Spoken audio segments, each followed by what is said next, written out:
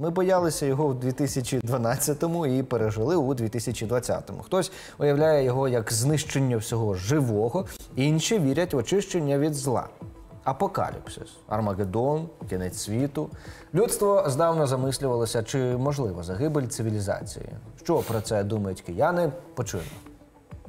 Чи ви вірите в кінець світу? Кінець світу? Ні.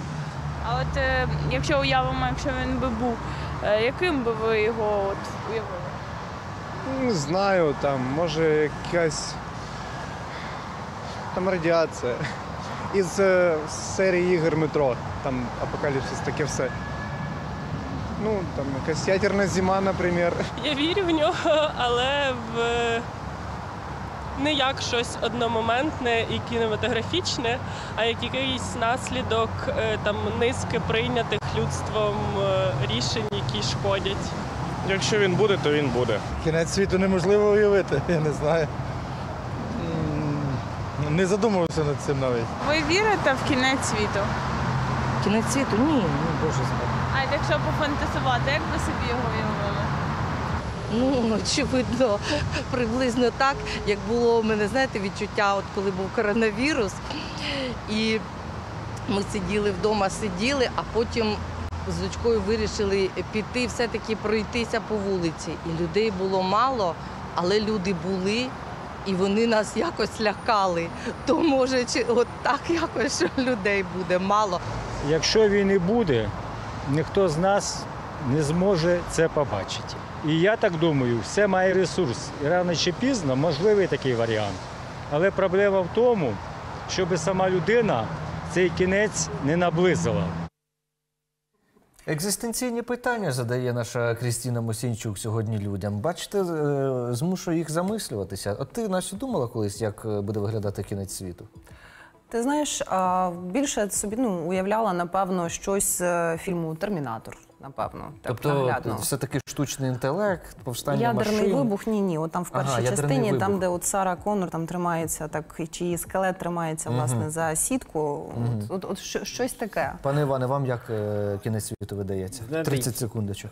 Я не думав про це по-перше, але якщо щось таке буде, то знаєте, щось метеорит, який попадає по нашій землі. Ось чомусь в мене саме така картина. Ну, зрештою, таке було вже, А якщо вірити науковцям. Так. Я вірю в біблійний Армагеддон, вогонь, все згорить. А от як це буде, чи ядерний вибух, чи метеорит, Чи метеорит. не знаю. До речі, друзі, раджу вам задуматися над цим, оскільки до кінця світу залишилося 90 секунд. Стрілка годинника судного дня на рекордно близькій позначці до ядерного апокаліпсису, як і торік. У 2024-му науковці-атомники вирішили не переводити час, що лишився людству до катастрофи. Наголошують, це не означає, що світ стабільний. Рідше, радше, навпаки. Війна в Україні, бойові дії на Близькому Сході, ядерні амбіції Північної Кореї та Китаю, кліматичні зміни і штучний інтелект. Це, на думку науковців, ті глобальні виклики, які загрожують планеті. Кажуть, світу все ще можна зробити безпечнішим. Символічний відлік часу до судного дня розпочали 1947 року. Тоді годинник встановили на 7 хвилин до півночі. Що напруженіша міжнародна обстановка, то ближча стрілка до 12-ї. За всю історію годинник судного дня переводили менш як 30 разів. Найперше через два роки після запуску. Тоді СРСР випробував ядерну бомбу і стартувала гонка озброєнь. Дві хвилини до катастрофи лишилося на годиннику у 1953-му. Тоді водневі бомби випробовували і Радянський Союз, і Сполучені Штати. У 60-70-х роках стрілку годинника судного дня кілька разів відсували від півночі. Після договорів про часткову заборону випробувань ядерної зброї та про зупинення перегонів за ядерну перевагу до апокаліпсису лишалося 12 хвилин. Рекордно далекими від кінця світу був 1991. Тоді підписали договір про скорочення стратегічних озброєнь.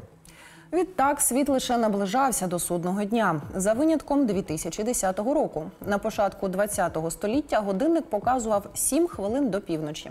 А коли Північна Корея провела ядерні випробування, стрілки перевели ще на 2 хвилини ближче.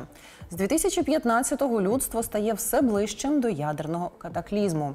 У 2020-му годинник встановили на 100 секундах до півночі. Після повномасштабного російського вторгнення в Україну перевели ще на 10 секунд у бік катастрофи. Росія продовжує наближати ядерну катастрофу. Країна-агресорка може вдарити нестратегічною ядерною зброєю по країнах НАТО. Так думають експерти Міжнародного інституту стратегічних досліджень. Припускають, що у Кремлі не вважають серйозною загрозою американський арсенал тактичної ядерної зброї. Е, зараз долучимо до е, нашого ефіру ще одного гостя. Який? Олексій Єжак долучається до нас, завідувач відділу Національного інституту стратегічних досліджень, аби поцікавитися вашою думкою, що ж треба підписати цього разу, аби відсунути стрілки годинника судного дня трохи назад від півночі. Яка методика, звичайно, цікава, але, але треба дивитись. Є д- старий радянський ще анекдот. Я думаю, в радянському союзі це було серйозно. Ну в- роки холодної війни це було серйозніше про кінець світу, тому що дійсно конфігурація сил була така, що е, ну можна було швидко знищити світ. Зараз це не так е, швидко. Ну був анекдот, як е, вчені знайшли прибой, який дозволяє зазирнути у кінець світу, майбутнє кінець світу, але тільки найкраща людина в світі може це побачити. Ну, зайшли таку людину, вона подивилась в цей прибор. Журналісти її спрашують, ну що там, що там? А він відповідає: нічого. Як нічого? Ну так, нічого. Кінець світу. Ну от нічого, нічого там не буде, кінець світу. Я думаю, не треба на це сильно зважати, що там буде е, в кінці, але дійсно те, що зараз відбувається. Е, Воно е, ну підвищує ризики ядерної війни. Росія дуже довго говорила про це і наговорила до того, що дійсно тактична ядерна зброя стала більш реальною. Ну, треба можна просто нагадати, що за не нагадати, ну в принципі, за розрахунками.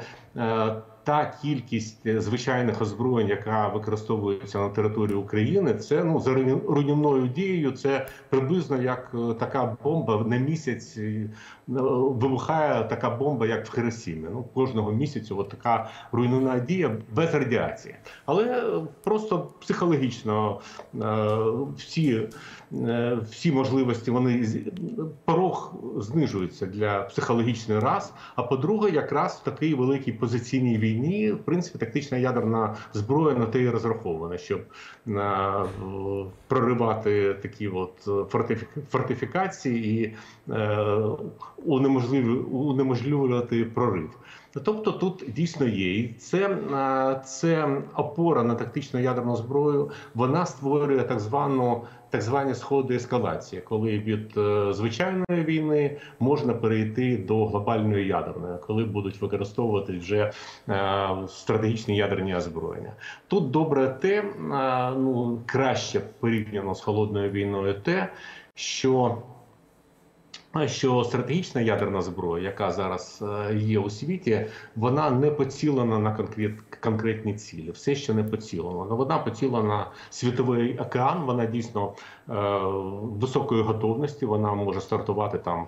Протягом хвилин після після після наказу бойового наказу, але ну так е, влаштовано, щоб не було випадковостей. В принципі, більшість ядерної зброї полетить прямо зараз, у разу у разі випадкових е, е, помилок, е, випадкових наказів полетить у світовий океан.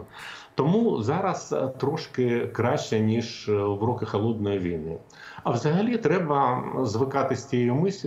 з тією думкою, що людство живе над прірвою, і кожного дня воно може туди шагнути, якщо зробити крок, якщо робити багато помилок. Тому завжди так було, завжди мені здається, людство жило над прірвою. Просто зараз інтернет. І різні різні соціальні мережі дозволяють ці прір- прірву зазирнути, і це змушує людей переводити ці от ем, цей годинник ближче до апокаліпсису. Але насправді я думаю, ситуація не змінюється кардинально. Угу, зрозуміло.